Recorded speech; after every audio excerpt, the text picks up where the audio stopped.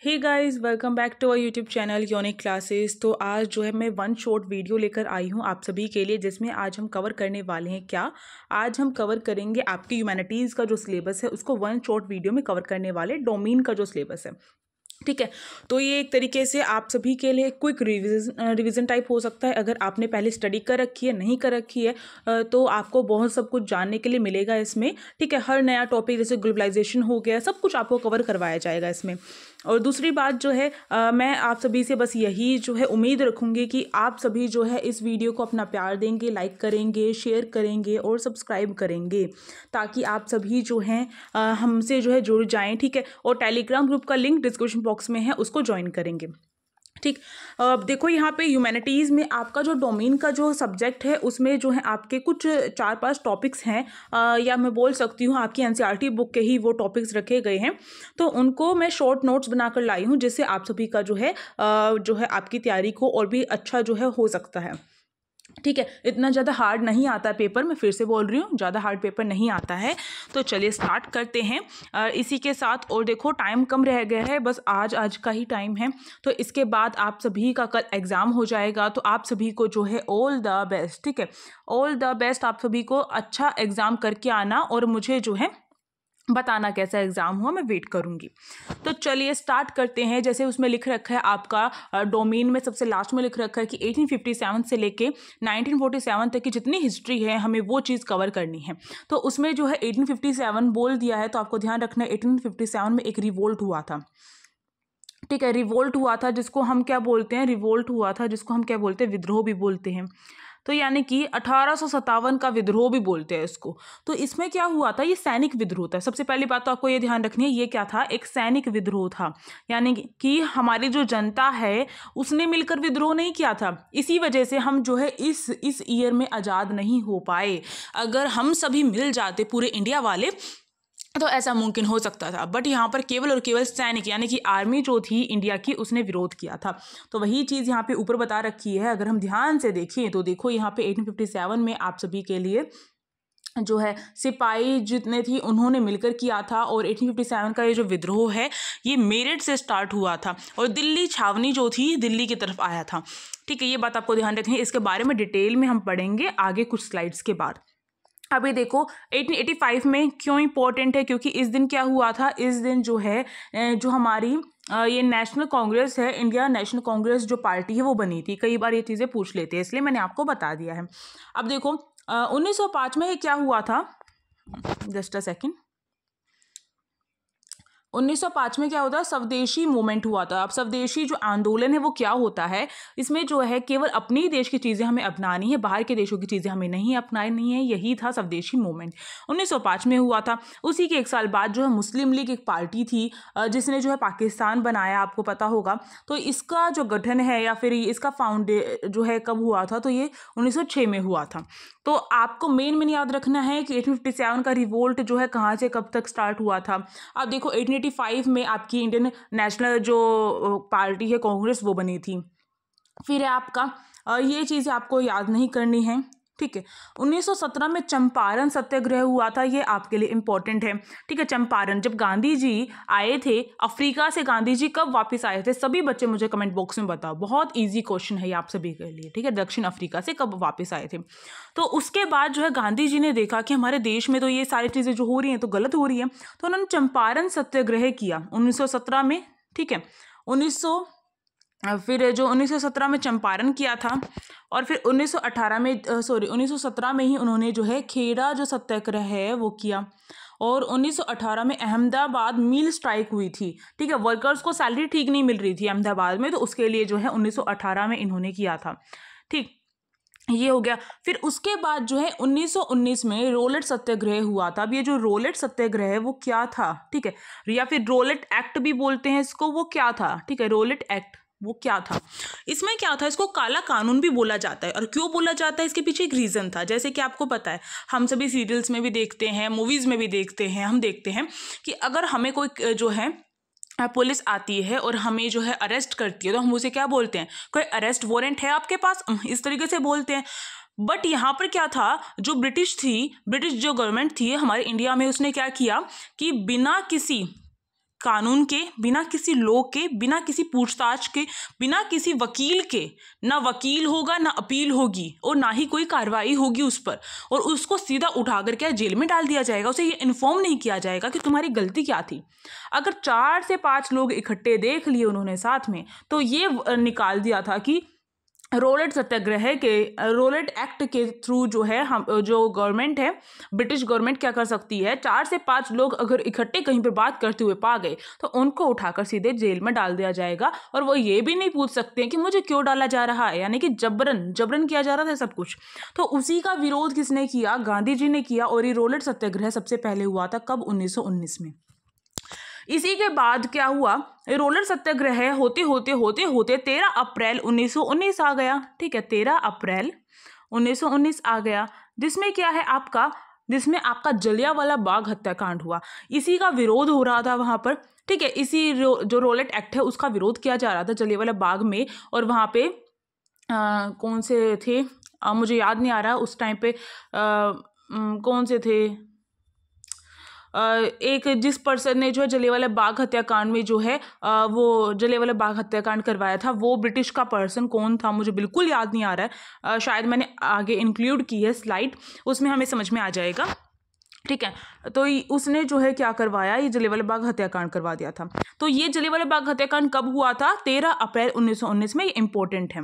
अब देखो, इसके बाद जो है आपका खिलाफत आंदोलन और नॉन कॉपरेशन मूवमेंट यानी खिलाफत आंदोलन और आपका जो असहयोग आंदोलन है। असहयोग का मतलब है हम जो है ब्रिटिश के किसी भी चीज़ में सहयोग नहीं करेंगे, साथ नहीं देंगे। जैसे कि कॉलेज वगैरह उन्होंने ओपन करे थे तो उसमें बच्चों ने जाना छोड़ दिया था। जो काम वो वर्कर्स को दिला रहे थे वर्कर्स ने वहाँ पर काम करना बंद कर दिया था।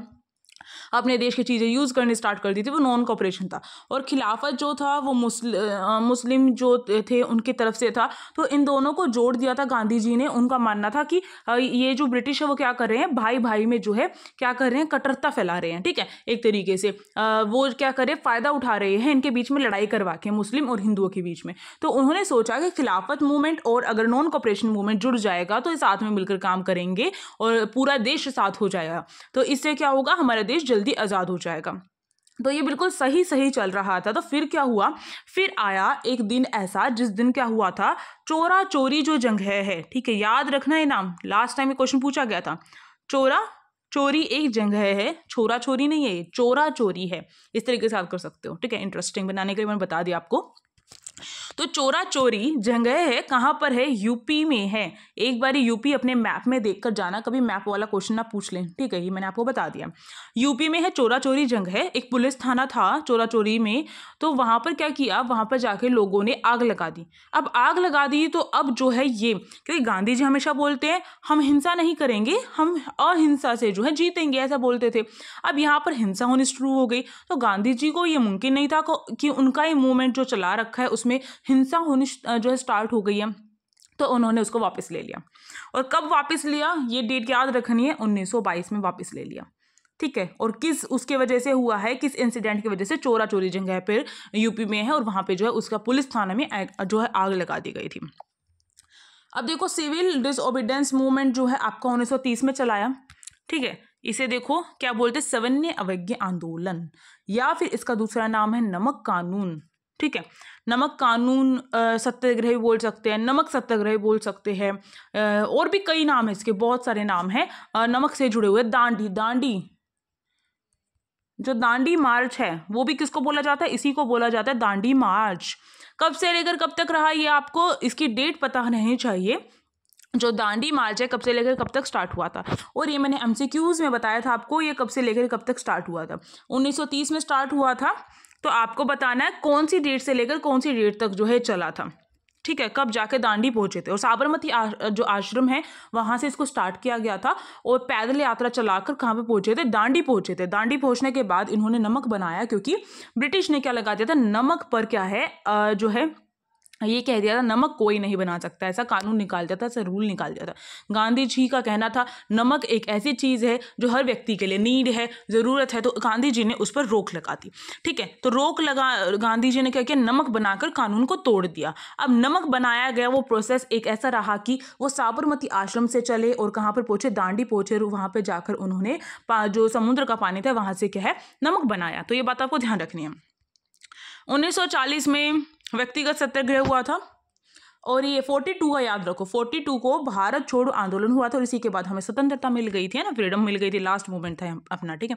बट जो गांधी जी ने ब्रिटिश शासन के खिलाफ अपना तीसरा बड़ा आंदोलन कौन सा किया था? भारत छोड़ो आंदोलन, जिसको क्या बोलते हैं? जिसको क्विट इंडिया मूवमेंट बोला जाता है, ठीक है? ये बात आपको ध्यान रखनी है। और कब हुआ था? नाइनटीन में हुआ था। अब चलो नेक्स्ट स्लाइड पे चलते हैं।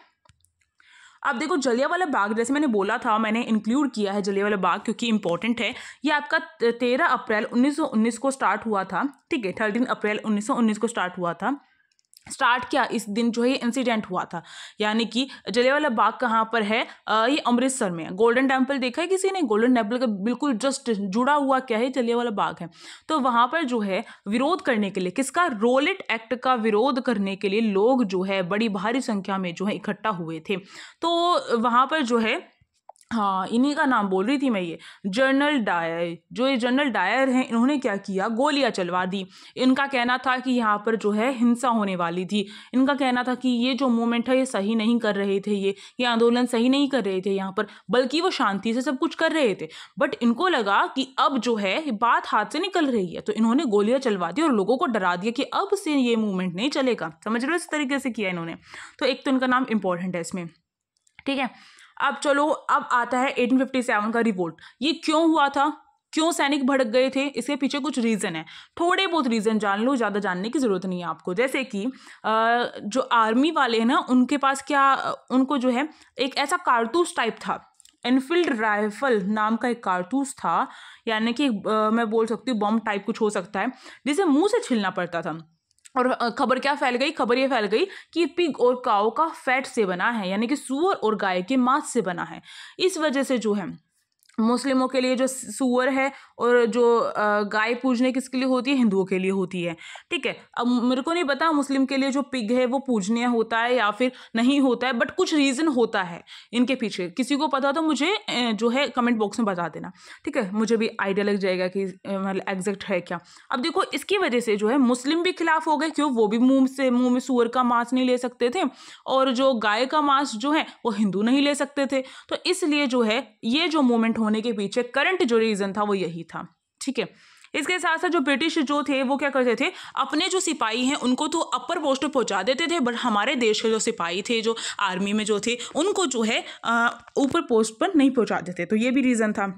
अपने जो लैंड रिवेन्यू पॉलिसीज़ वगैरह हैं, वो किन के लिए बनाते थे? केवल और केवल अपने लोगों के लिए बनाते थे। तो ये था। और एक दो चीज़ें और भी हैं, जैसे कि doctrine of lapse doctrine of lapse क्या होता है? कि हड़प की नीति। हम बोल सकते हैं इसको हड़प की नीति। हड़प। हड़प की नीति। इसमें क्या था हड़प की नीति में? इसमें यह था कि वो क्या करते थे? आ, किसी न किसी रीज़न से बताते थे कि जैसे कि आपने जो सुना होगा झांसी वाली जो रानी है उनका खुद का बेटा नहीं था उन्होंने गोद ले रखा था। तो इन्होंने पॉलिसी निकाली। अगर किसी ने गोद ले रखा है बेटा तो उसको जो है राजा नहीं बनाया जा सकता और उनकी ज़मीन जो हो जाएगी किसके अंडर आ जाएगी? ब्रिटिश के अंदर आ जाएगी।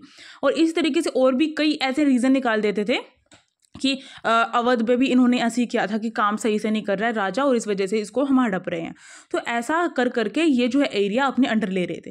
तो इसकी वजह से भी जो है बहुत बड़ा जो रोल है वो रहा है अवध के, जितने भी लोग थे वो इस मोमेंट में ज्वाइन कर लिया था उन्होंने। तो काफ़ी सारे जो है और एक दो चीज़ें ऐसी हो रही थी, जैसे कि इन्होंने क्या कर दिया? सती प्रथा ख़त्म करी है, इन्होंने क्या किया? विधवा विवाह स्टार्ट कर दिया। यानी कि इंडिया के जो मामले हैं उसमें घुसना स्टार्ट कर दिया। तो उनको लगा इंडिया वालों को, ये तो सही नहीं हो रहा है, बिल्कुल भी, ये हमारे साथ बिल्कुल सही नहीं हो रहा है।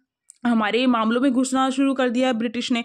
अभी तक तो केवल हमसे काम ही करा रहे थे, अब जो हमारे मामलों में घुसना स्टार्ट कर दिया तो इनके अंदर गुस्सा बना हुआ था तो वही निकल के आया 1857 के रिवोल्ट में। अब इसका क्या क्या इम्पैक्ट पड़ा? एक तो सबसे बड़ी बात ये रही कि जो कंपनी का शासन है, वो हो गया और जो रानी का शासन था, वो ख़त्म हो गया। यानी कि ब्रिटिश की रानी जो शासन करती थी, वो बंद होकर कंपनी का शासन स्टार्ट हो गया। ठीक है? और इसके साथ साथ जो है जो मिलिट्री जो होते हैं, यानी कि जो आर्मी में किसको रखेंगे, ज़्यादा नंबर किसको रखेंगे, ये ज़्यादा नंबर जो ब्रिटिश के जो लोग हैं, उनको रखेंगे आर्मी में और इंडिया के जो सैनिक हैं, उनको नहीं रखेंगे, इन्होंने ये डिसाइड किया। क्योंकि वही, उन्होंने तो विरोध किया था ना तो वो उनको डर बैठ गया कि कुछ भी कर सकते हैं इस वजह से। ठीक है, कुछ ऐसी ऐसी चीज़ें हुई थी। कुछ रूल्स वगैरह निकाले और फैसला लिया कि हम इनके अंदरूनी मामलों में कोई दखल नहीं देंगे इस तरीके से। तो ये हुआ था। अब देखो संसद, यानी कि पार्लियामेंट के बारे में समझ लेते हैं, पार्लियामेंट होती क्या है? पार्लियामेंट सबने सुना होगा, और आपने सुना होगा एक राष्ट्रपति भी होते हैं हमारे देश में, हमारे देश में जो है प्रेसिडेंट के बाद प्राइम मिनिस्टर भी होते हैं, और हमने सुना होगा लोकसभा भी होती है, और राज्यसभा भी होती है। तो ये सब कुछ क्या होता है, ये आपको अच्छे से समझना पड़ेगा तो फटाफट से देख लेते हो ज़्यादा टाइम नहीं है हमारे पास। देखो संसद संसद क्यों ज़रूरत है? देखो, आपको पता है जो संसद के चुनाव होते हैं ना, वो लोकसभा के चुनाव भी आप बोल सकते हो, वो क्या होता है? डायरेक्ट होते हैं। यानी कि हम डायरेक्ट पीएम के चुनाव भी बोल सकते हो। लोकसभा के अंदर कौन आता है? पीएम आते हैं। प्राइम मिनिस्टर आते हैं। बात आपको ध्यान रखनी है। यानी कि लोकसभा में जो भी पार्टी जीतती है उसका एक जो हेड होता है वो क्या होता है? वो पीएम बन जाता है। ठीक है? तो हम जो है इसका डायरेक्ट चुनाव करते हैं। आपको ध्यान रखना हम इसका डायरेक्ट चुनाव करते हैं लोकसभा में। आ, क्या होता है? डायरेक्ट चुनाव होते हैं। हम हम जो है डायरेक्ट जाते हैं और अपना वोट देकर आते हैं। और वही जो आदमी खड़ा है वही जीतता है। अब ये क्यों इंपॉर्टेंट है? क्योंकि देखो, संसद के चुनाव उसी तरह से होते हैं, जैसे राज्य विधानमंडल के होते हैं और लोकसभा के चुनाव। देखो, आपको ध्यान रखना जो लोकसभा उसके चुनाव हर पाँच साल में होते हैं और लोकसभा भंग भी होती है, ये बात भी ध्यान रखनी है। पर राज्यसभा कभी भंग नहीं होती, इसका मतलब राज्यसभा पूरे तौर पर कभी भी खत्म नहीं होती है। इसका मतलब ये है, हर कुछ टाइम के बाद मेंबर्स चेंज हो जाते हैं बट वो जो है राज्यसभा कभी भी पूरे तौर पर उनके मेंबर्स जो है, हटके दोबारा से बदली नहीं होते हैं। ठीक है, समझ में आई बात? यानी लोकसभा के इतने मेंबर है तो इनको हटाकर दूसरे मेंबर चुनाव के थ्रू इलेक्शन के थ्रू आ सकते हैं। ठीक है? E V M E V M machine के थ्रू हमारे चुनाव होते हैं और ई वी एम मशीन की फुल फॉर्म आप सभी मुझे कमेंट बॉक्स में बताइए। चलिए, अभी तक अगर किसी ने लाइक नहीं किया तो ये तो गलत बात है। मैं आप सभी के लिए इतनी मेहनत कर रही हूँ, आप सभी के लिए देखो, मैं नोट्स प्रिपेयर कर रही हूँ, कहीं आप सभी के लिए मैं बैठ के एक एक घंटे वीडियो बना रही हूँ तो अब आपको जो है लाइक तो करना ही पड़ेगा। और साथ ही साथ जो है रीजनिंग की जो मॉक टेस्ट है उसको देखो क्योंकि इंपॉर्टेंट है, जिससे आप सभी क्वेश्चन सोल्व होंगे। अब देखो पार्लियामेंट के बारे में अगर मैं बताऊँ तो पार्लियामेंट ऑफ़ इंडिया जो है, उसमें आपके काउंसिल ऑफ़ स्टेट्स आ जाती है, यानी कि राज्यसभा और लोकसभा।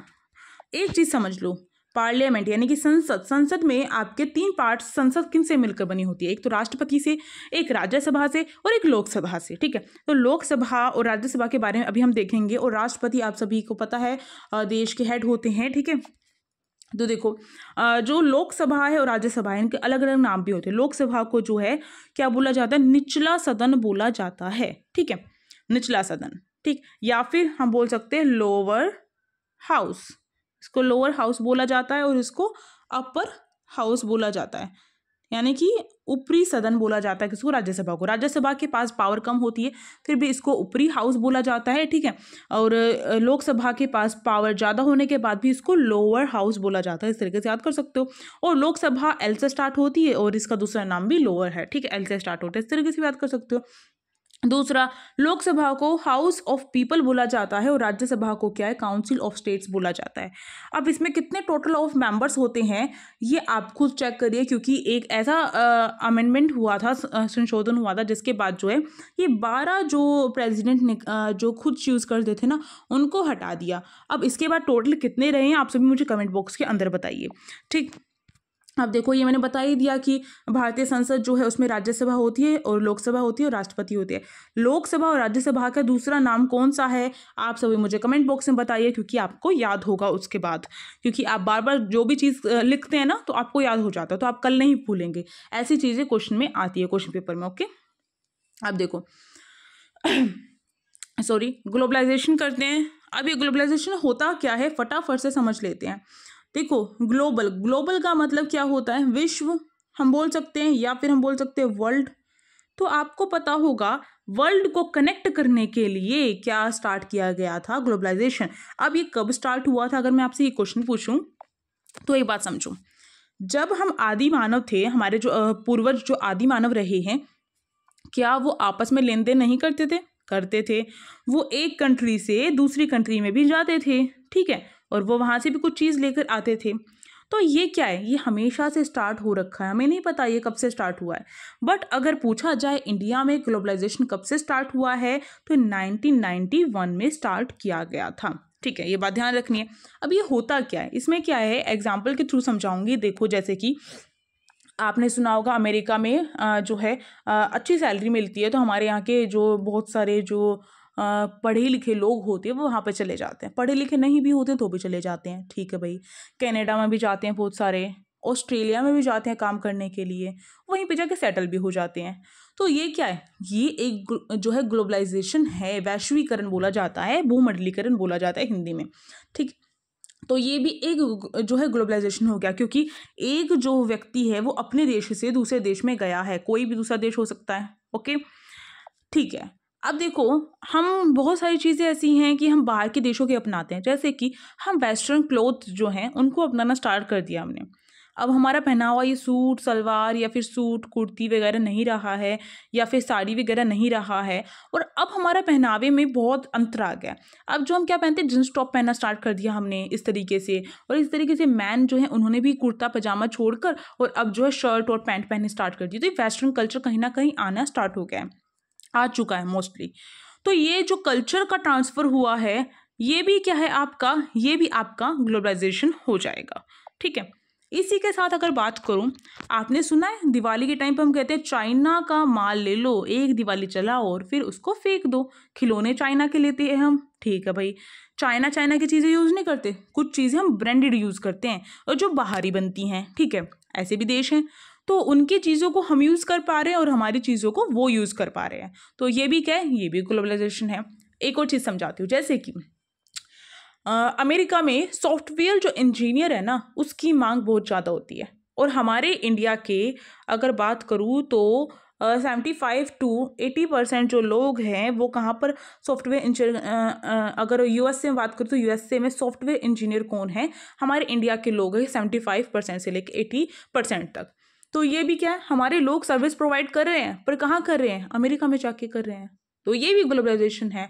ओके उनके, अमेरिका की जो कंपनी होती है, वो यहाँ पर आकर, हमारे इंडिया में आकर काम खोलती है फैक्ट्रीज खोलती है, ये भी ग्लोबलाइजेशन है। अब और भी ज़्यादा मैं डीप में जाऊँ, थोड़ा सा बताऊँ तो जैसे बर्गर आपने सुना होगा, किसका बर्गर फ़ेमस है?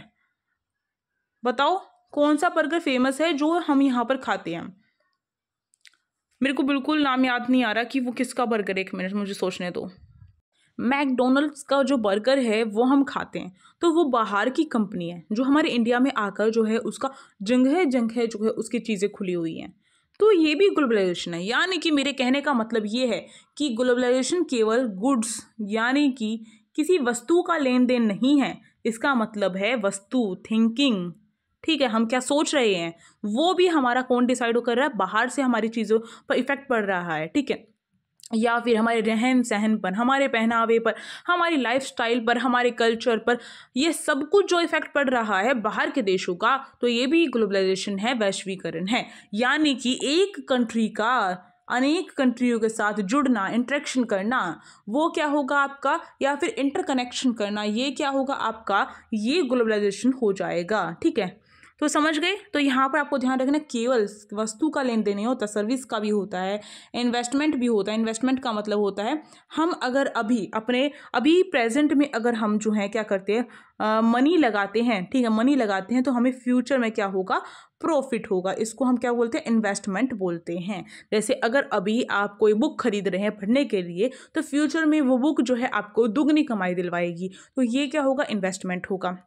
टेक्नोलॉजी, यानी कि हम बाहर की चीज़ों को यूज़ करते हैं तो ये टेक्नोलॉजी हो जाएगा। ठीक तो इनका लेन देन क्या होता है? अलग अलग कंट्रीज़ के बीच में जब होता है तो ये ग्लोबलाइजेशन हो जाता है। अब इसके कुछ इम्पैक्ट भी पड़ते हैं। कोई भी चीज़ होती है तो अच्छी भी होती है, बुरी भी होती है। ग्रीन में जो है, वो अच्छा है पॉजिटिव है इफ़ेक्ट और जो रेड में है, वो नेगेटिव इफ़ेक्ट हो जाएगा। अब देखो, जैसे कि आ, मैं पॉजिटिव की बात करती हूँ तो देखो जैसे इंक्रीज ट्रेड यानी कि व्यापार में वृद्धि हुई है। हमारा जो सामान है हम जो इंडिया बनाते हैं उसकी वैल्यू यहाँ पर कम होती है पर बाहर के देशों में जब हम बेचते हैं तो हमें बहुत ज़्यादा अच्छी खासियत जो कमाई है वो हो जाती है। तो व्यापार अच्छा हुआ है ग्रेटर चॉइस ऑफ़ गुड्स यानी कि अगर हम यहाँ पर भी देखें तो बाहर के जो चीज़ें हैं वो हमारे देश में आने स्टार्ट हो गई है तो हमारे पास जो जो बहुत सारे ऑप्शन हो गए हम कोई भी शॉपिंग करने चाहते हैं तो आ, समझ में नहीं आता हम क्या लें। इतने बढ़िया से बढ़िया चीज़ें होती हैं और हर चीज़ में क्वालिटीज़ जो अलग अलग होती है तो समझ में नहीं आता। इतने सारे ऑप्शन हो गए हमारे पास तो ये एक इसका जो है पॉजिटिव इम्पैक्ट हुआ है। ग्रेटर कॉम्पिटिशन कॉम्पिटिशन बढ़ गया है। जिससे क्या है प्राइस जो है किसी भी चीज़ का, अगर मानो एक चीज़ मैं ही मैं ही बनाऊँ तो मैं अपनी मर्ज़ी से उसका रेट कितना भी रख सकती हूँ। अब आप वो, आपको वो खरीदनी पड़ेगी बट इसमें क्या है कंपटीशन बढ़ा दिया गया है। कंपटीशन बढ़ गया क्योंकि चाइना का माल भी इंडिया में बिक रहा है, और देशों का माल भी इंडिया में बिक रहा है, जिससे क्या है, अब एक जैसी चीज़ें बहुत सारी हो गई हैं, ठीक है? तो अब जो मेरे पास ऑप्शन में एक जो हूँ उपभोक्ता हूँ तो मेरे पास ऑप्शन है कि कंज्यूमर हूँ। तो मेरे पास ऑप्शन है कि मैं ये खरीदूँ ये खरीदूँ ये खरीदूँ या फिर ये खरीदूँ या फिर ये खरीदूँ। तो इसका मतलब अब मैं क्या देखूँगी? प्राइस भी देखूँगी क्वालिटी भी देखूँगी, हर चीज़ देखूँगी। तो यानी कि इससे प्राइस कम हो जाता है, ठीक? हर कोई बेचना चाहेगा ना अपनी चीज़। अगर एक पाँच सौ की चीज़ मिल रही है और वही क्वालिटी की मुझे दो सौ में मिल रही है तो मैं दो सौ की खरीदूँगी ना? तो यही चीज़ है। अब देखो इकोनॉमिक इकोनॉमीज ऑफ़ स्केल यानी कि जो जीडीपी है वो बढ़ रही है हमारे देश की जीडीपी का मतलब होता है कि एक साल में हमने कितना जो है जो वस्तुएँ हैं वो बनाई हैं। ठीक है, ये उसका पूरा का पूरा लेखा जोखा होता है ये। ये आप आगे जाके समझेंगे, जब बड़ी क्लास में हो जाएँगे। तो इससे बहुत ज़्यादा प्रोडक्शन हुआ है एक तरीके से, हम ये समझ सकते हैं हमारे देश में प्रोडक्शन होता है इसकी वजह से। क्योंकि बाहरी की कंपनियाँ आकर भी तो यहाँ प्रोडक्शन करती है ना। Increase capital and labour mobility यानी कि इससे क्या हुआ है, जो कैपिटल है, यानी कि पूंजी जैसे कि अगर मुझे कोई काम स्टार्ट करना हो तो मेरे पास पैसे नहीं है मैं कैसे स्टार्ट करूँ? बट एक आ, कोई दूसरी कंपनी आकर बोलती है बाहर के देश की कि हम जो है आ, हम पैसे लगाने के लिए तैयार हैं तुम जो है देख रेख करना उस फैक्ट्री की। तो हम मिलकर काम कर लेते हैं। तो ये भी क्या है? ग्लोबलाइजेशन हो गया ठीक है? इसके साथ साथ लेबर जो हैं, उनको भी काम मिलना स्टार्ट हो गया है, बोल सकते हैं। बट इससे जो बेरोज़गारी भी काफ़ी ज़्यादा बढ़ी है। और इसके वजह से जो अनएम्प्लॉयमेंट ज़्यादा बढ़ा है, क्योंकि एक सेक्टर से दूसरे सेक्टर जो सेक्टर होता है, उसमें मूव कर जाती है कंपनी कभी बाहर की कंपनी हमारे देश में आती है, कभी बाहर चली जाती है दोबारा से। कभी वो बिज़नेस स्टार्ट करती है, कभी दूसरे स्टेट में ले जाती है। तो इसकी वजह से अनएम्प्लॉयमेंट ज़्यादा हो गया है। दूसरी बात मोनोपोली हुआ है। पावर मोनोपोली हुई है। यानी कि एक अधिकार बन गया है। एक चीज़ पर जो है, केवल वही अधिकार करके बैठ चुके हैं। तो ऐसा भी हुआ है। टैक्स जो है वो कम कर दिया गया है। अब टैक्स कम हो गया तो बाहर की चीज़ें जो है वो सस्ती हो जाती हैं और इंडिया में जो चीज़ें बन रही हैं वो महँगी हो जाती है, जिसकी वजह से क्या होता है, जिसकी वजह से इंडिया की चीज़ें नहीं बिकती और बाहर के देशों की चीज़ें बिक जाती है। तो ये भी क्या है, ये भी इसका जो है नेगेटिव इम्पैक्ट हो जाएगा। तो देख लिया हमने सब कुछ।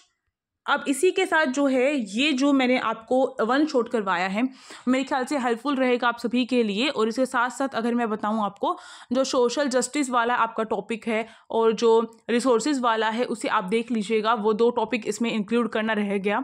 सोशल जस्टिस में एक तो आपको भोपाल गैस ट्रेजडी जो हुई थी, वो कब हुई थी और वर्कर्स के लिए कौन कौन से राइट्स इंपॉर्टेंट है, वो करने हैं आपको। तो ये चीज़ें आपको छोटी मोटी चीज़ें आप आप खुद भी देख सकते हो, ठीक है? तो इतना करवा दिया मैंने, मेरे ख्याल से से ज़्यादा रहेगा आप सभी के लिए, काफ़ी हेल्पफुल रहेगा। तो thank you for watching this video like share and subscribe और इसके साथ ही साथ जो है आपसे मुझे बताएँगे वीडियो कैसी लगी। Thank you all the best for your exam